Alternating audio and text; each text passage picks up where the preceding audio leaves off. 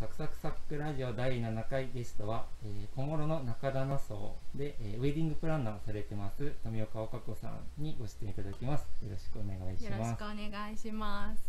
まずじゃあ今されているウェディングプランナーのお話をはい。ちょっとざっくりでいいのでご紹介お願いできますはい。えっと、中棚荘の別邸張越邸という建物がありまして、はい。えーそこは江戸時代の末期の古民家築150年以上の古民家のはい。食事処です、はいはい。でうんうん、えー、と江戸時代の結婚式って今の結婚式とは違っておはい。家の中で結婚式をしていたんですね、はい、祝言というものなんですけど、はいはい。祝言という今のじん、えー、と結婚式の種類でいうと人前式はい。になります、昔は、えー嫁ぎ先のだ新郎さんのお家うんでうん。結婚式をしていたので、へー。張越邸も江戸時代の建物なので、はい。そこで、えー昔ながらの家族や、えーゲストを参列してくれたご友人に夫婦になることを誓うという結婚式をご提案しています。あーなるほど。それはもともとそういうお仕事されてたんですあいえ私もかはい。あの嫁ぎ先がはい。ここだったので、はいはい。あの張越邸で結婚式をしたんですけど、うんうんその時のプランナーさんに、うん。あの向いてると思うから えー。やってみないかって言われスカウトされたんですありがたいことに。それからあの勉強をしてプランナーさんの日韓資格なんですけど、はい。やってみてやっぱり向いてたなとか。いやいや思い。やーもう本当にはい新郎新婦さんのその、はい本当に一生うん。の幸せの一瞬を作る仕事なので、えっと、一緒に主人のお姉さんもや一緒に、はい。はいプランナーをしているんですけどうん最初の頃ははい。もう本当にこれでよかったのかその幸せの日をうん。作れたかっていう2人で話し合いをしながらうんうん。泣きながら。確かにねプレッシャーがすごいそうでですすよねねでもそれを作一緒にお二人と新郎新婦さんと作っていいける仕事っていうのは、うん。あの楽しいですし、うん責任がある分やりがいもうん。うんあります、確かにね終わった後のなんかね充実感というか。そうですね。多分やるときはねすごいうまくいくかなって緊張してると思うんですけど、終わった後お二人の多分幸せそうな顔を見たら、まあ、すごくこう喜びがある仕事なのかなと思います、そうですね、じゃあちょっとあのウェディングの話引き続き聞いちゃうんですけど、ここのその張り越し亭でやってるんでしたっけ、張り越し亭独自の個性っていうか張り越し亭でウェディングするとなんだろうな。うんとまあこんな個性があるよとか、い。こんなところが変わってるんじゃないかなみたいな独自のものってあったりします？えっと張り越してまずその時代を間取りを再現しているので、150年前。はい、うん。玄関入ると土間なんですね、はいはい。で土間っていうのも珍しいと思うんですけど、うんうん。披露宴会場は畳なので、はい。靴を脱いでうん。上がっていただくので、はい。リラックスして皆さん、あのあー食事召し上がったりはい。こうおしゃれをして、うん披露宴会場キラキラしたうん披露宴会場も素敵なんですけど、うんうん。あの皆さんリラックスして本当に楽しい距離が近く感じる、楽しい時間でしたっていうような声をいただきます。うんその参列者の人ははい。服は清掃あそうですそうです。だけどまあ畳だから、はい。ちょっとこう家に上がったようなあ感そうなんで覚す。はい。過ごしてもらえるっていう、はい。張越亭自体ももともとあのーその当時人が住んでいたお家なので、うん。はい。なんかそういう温かさっていうのも残っていますし、はい。お食事もあの旅館なので、うん。和食和食の懐石料理うんうん。が、あのベースになって、うんうん。婚礼懐石料理なので、あの珍しいっていうことで、うん。あのいろんなところ行かれる方も洋食がやはりイメージであるようなので、うんうん。あの美味しかった。初めて懐石料理をきちんと食べたっていうようなお話も聞きますし、うんうん。はい。なるほど、はい。結構で宿泊はここでされる方が多いんですか？あそうですね。あの宿泊皆さんはい。あのご両親とか、はい。皆さん宿泊されて、うん。で夕食をそのまま二次会のような形で、うんうん。ゆ今度は昼間はドレスとゲストの皆さん清掃ですけど、はい。温泉に入ってゆっくりして、今度は浴衣でリラックスして二次会なのでこう特別な日の余韻が、うん。こう宿泊施設に泊まってうん。ることで余韻をその一日余韻に浸ったまま、はいうん。過ごしていただけるので、あいいですね。はい。なんかそうですね。ちょっとこう家族旅行も兼ねあつつそうですみね。たいなはい。感じでなかなかねご両家揃って旅行っていうのそうですも、ね。いろんなお互いのご友人と一緒に旅行っていうのもないと思うので、なるほど。ちなみにその嫁いできたっていうことなんですけどはい。もともとはどちらにいらっしゃったんですもともとは東京の大田区かはい。で生まれ育ちました。じゃあもうずっとそこから出ずはい。に出ずに育って。はい育って。でお知り合いになられたのってどちらなんでしたっけあ東京で。あ東京で、はい。あそうか。知り合って、はい。でこちらにはい。来られたっていうはい。ことなんですけどどうでしたか？なんかこう苦労したりしたこととか。まず最初は あの、はい旅館の修行があったので、はい。松本の方に、うん。あの住んだんあですけど、はいはい。3年間、うん。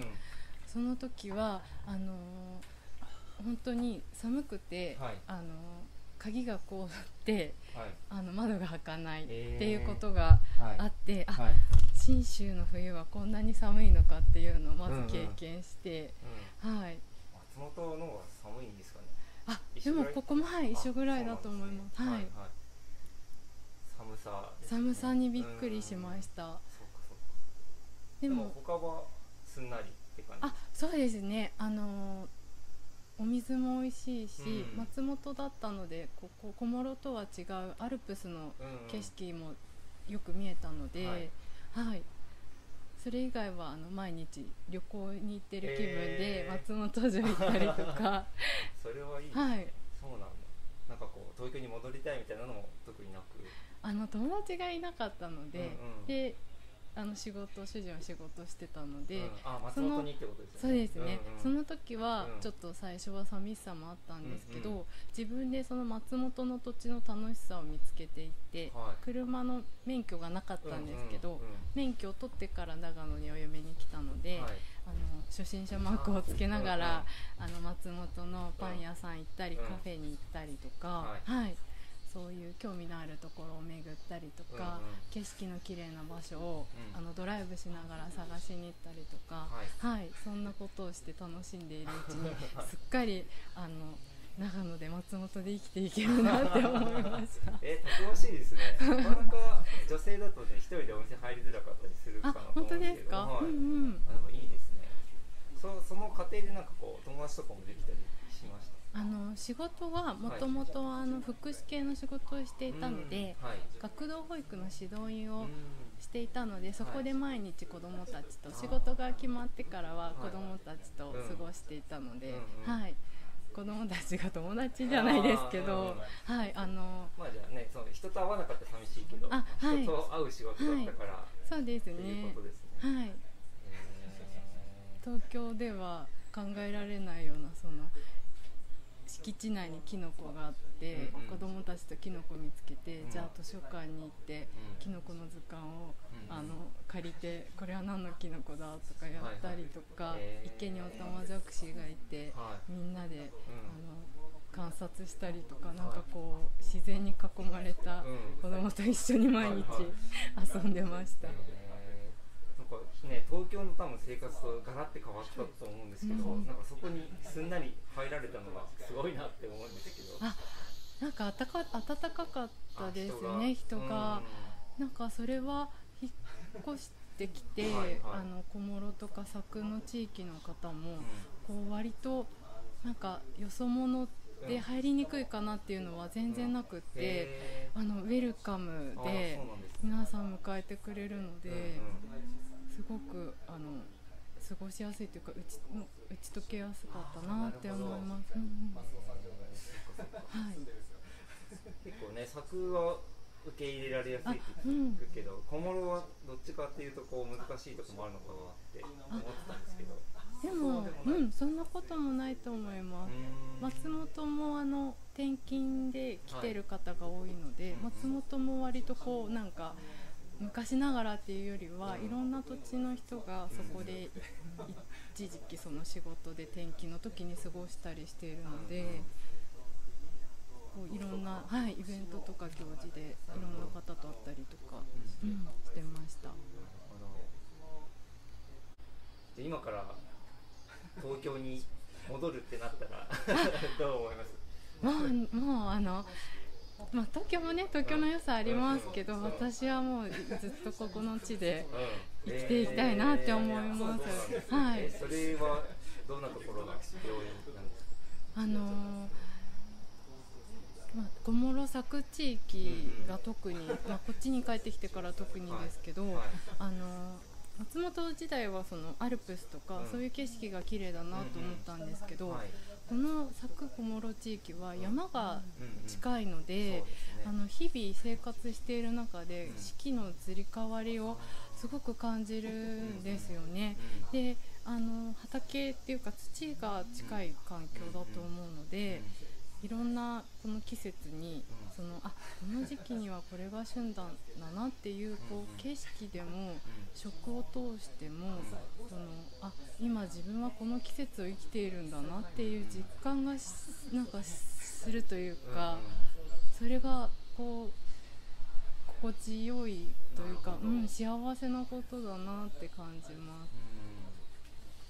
なんかそこの価値って僕は難しいなと思ってて、うんうん、別にね東京にいて四季を感じなくても、うんうん、変な話生きていけるじゃないですか、うんうん、なんですけど、まあ、いざ感じてみると、うん、まあ、絶対こっちだって思うんですよね、それってちょっと不思議じゃないですか、うんうん、そうですよね、そうそれを東京にいる人に説明するのが難しいなと思って、そうですよね、便利まあ、東京そうですね、まあ、近くで新幹線でね、来れば柵も近いですしそこうんそうですね。